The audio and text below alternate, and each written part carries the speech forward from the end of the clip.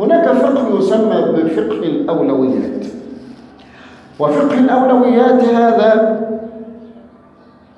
هو تغليب الشيء الأولي على ما يليه. بمعنى أن الطريق بيستفاد منها كل الناس. المواثيق والمعاهدات الدولية يستفاد منها كل الناس. الجيش اللي بيدخل الجيش ويؤدي الخدمة العسكرية يستفيد منه كل الناس. الفتوى العامة مع العلماء يستفيد منها كل الناس. يبقى الأولويات الشيء الضروري من الضروريات اللي هي بتفيد العامة يجب تغليبها أيضا على الأشياء الأخرى.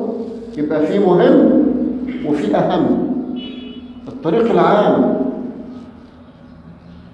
إياكم والجلوس على الطرقات. قالوا لا بد لنا من الجلوس يا رسول الله ما لنا بد من الجلوس عليها قال إن أبيتم فأدوا الطريق حقا. قال وما حق الطريق يا رسول الله؟ قال غض البصر وكف الأذى والأمر بالمعروف والنهي عن المنكر. يبقى أنت كده أديت حق الطريق. غض البصر كف الأذى عن الناس. أنت تبعد شرك عن الناس. تكف أذاك عن الناس ترد السلام للناس تؤمر بالمعروف وتنهى عن المنكر. لو في أي منكر في الطريق تشيله. لو فيه أي معروف تزوده وتؤمر الناس بالمعروف. ما تلاقيش واحد بيكسر في الطريق العام وتسيبه.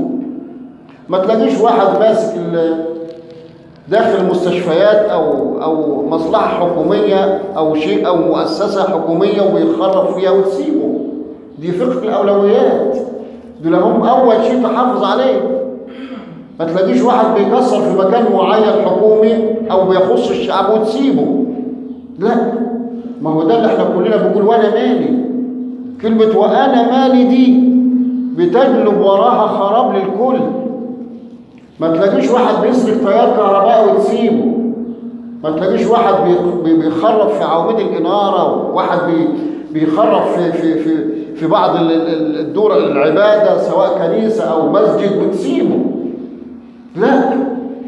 ما تلاقيش واحد بيخرب في عربيات نقل عام أو في قطار أو في طائرة أو في ده أو ده أو في سكرين أي شيء يخص العام. ما تسيبوش إحنا أخواننا النهارده كل السلبيات دي هي إحنا بنحصدها.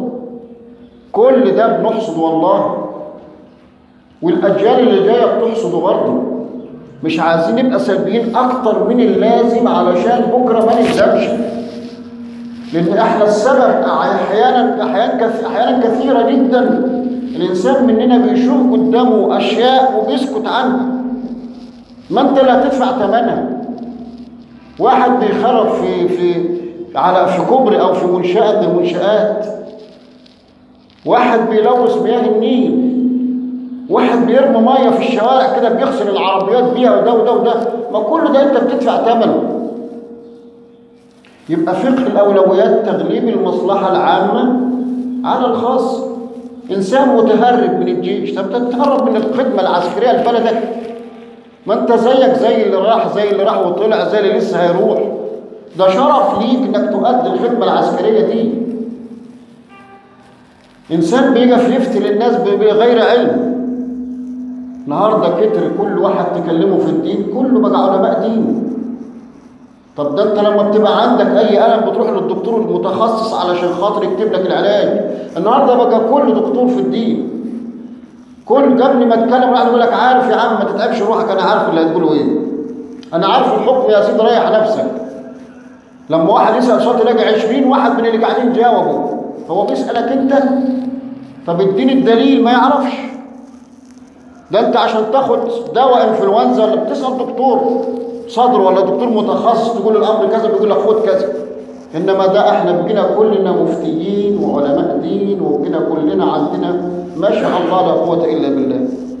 يبقى البنت ما تعرفش حتى تدخل الحمام تنظف نفسها وتفتي في الدين. تبقى الواحدة ما تعرفش حتى فرائض الوضوء ويجيبوها على التلفزيون قدام الناس كلها وتفتي في الدين. يبقى الواحد ما يعرفش أركان الغسل ولا أركان صلاة الجنازة ويطلع على شاشات التلفزيون في القنوات الخاصة ويفتي ويتكلم وي... سبحان الله سبحان الله. وده السبب اللي إحنا فيه دلوقتي واللي هيبقى فيه العيال بكرة بعد أولادنا بكرة بعد. الفتوى بغير علم.